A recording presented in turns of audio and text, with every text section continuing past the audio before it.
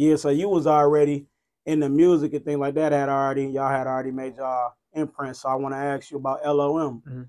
At what point did you meet all of the members, and uh, how did that come about? Uh, me, Rambo, Gutter. Uh, I grew. I knew them like growing up. Um, I kind of I met '80s like when like probably around uh, the time a little bit before LOM was put together, and I can't even remember.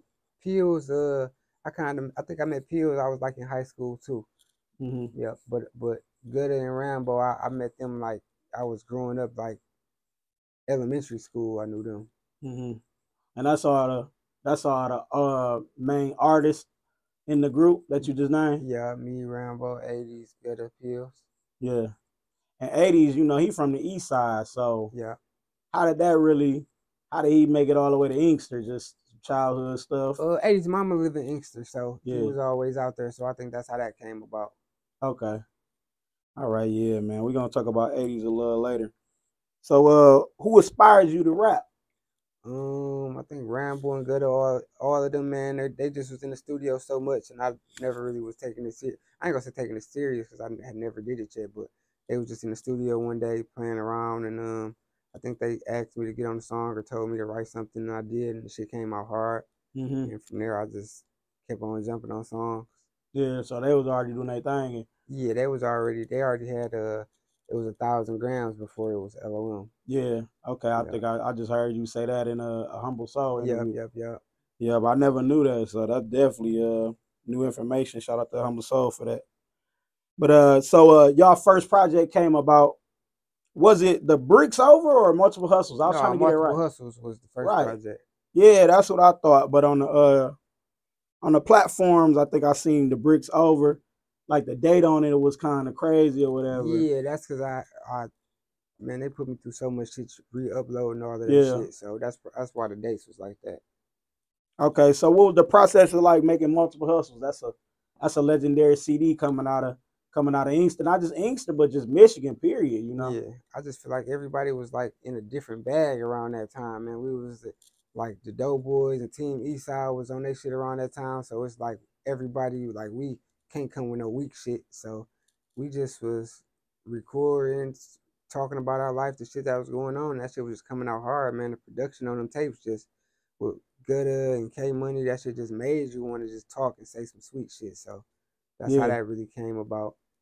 And when y'all released it, what was your expectations? Did y'all expect it to do what it did? No, I mean, see, I no, not really. I didn't expect it to do what it did. You know, I was always used to like fast money and stuff. So, you know, not really seeing no music or seeing a lot of money coming from coming from music. I really wasn't really like tuned into it like that. It wasn't until recently I started seeing other people making a killing off music that I'm really like, oh, this shit really can pay off.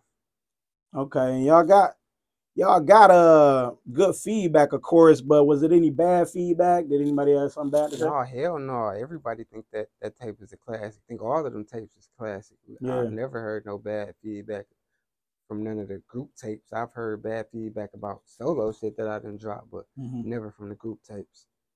Yeah, and on there, I think I say maybe I'm not, I'm not sure with too many people before y'all coming out of Inkster, but uh, I would say maybe that's my introduction to the Inkster sound. Like, Right. is this something called the Inkster sound? To me, it is. Maybe to Inkster, it is. But um, I like, is it a so. such thing? I don't think so. Um, Kind of like the persona yeah, of an Inkster person that we was we was talking about earlier. I feel like it come off in the music as well. I think like as far as like the production is different. I feel like Yeah. the, our producers is way different, so I think that may make us sound different on the songs. yeah, because I, I could kind of tell somebody from Inkster. Yeah. from a person from Detroit or Right. wherever else. Like I can tell by the way they say it and and uh just the beats and things like that. So yeah, we got our own like lingo and shit we Yeah. say, and like we say bro a lot, and like Yeah. it's a bunch of different terms that we use that the motherfucker be like, oh yeah, he he not from the city. yeah. So on there, you y'all have multiple hustles, the single, Mhm. uh road trips, pros, you tripping, and 56 uh bars being your standout songs from uh multiple hustles volume one.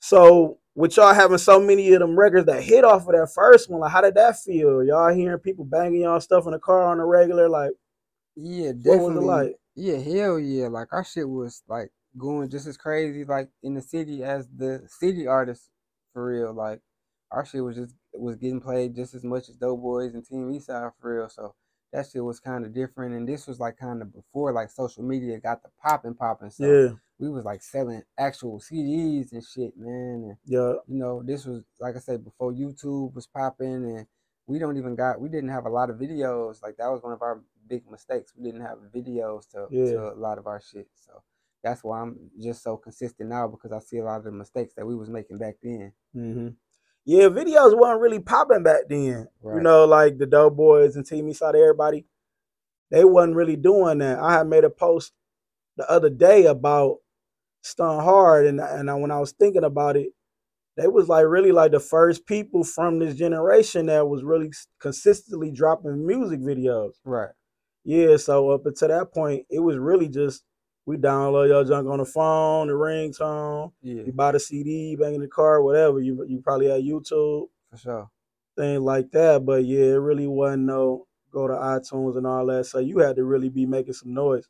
Was it because y'all was just all popular? Y'all was known from where y'all was from, or I think we just was wasn't as um knowledgeable to everything back then. Uh, I don't think we had a lot of videographers just popping back then. Uh, back then, you probably only had Joseph McFadden and Super Ray, and like that was pretty much. It wasn't really too many people that was just shooting videos, so we wasn't really thinking about that. I'm not thinking, okay, we shoot videos.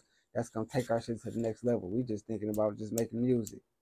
no? But I was talking about as far as uh how well it did. Was do you think it's because as a collective y'all was just so popular from where y'all was from, but known for doing whatever y'all was doing and stuff think like that, or I was it just the it was music? because of the popularity. I think it was because the music. Yeah. yeah.